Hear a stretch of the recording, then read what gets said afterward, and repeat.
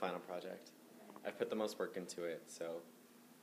And it's also it's I really like the project. I've yet to like.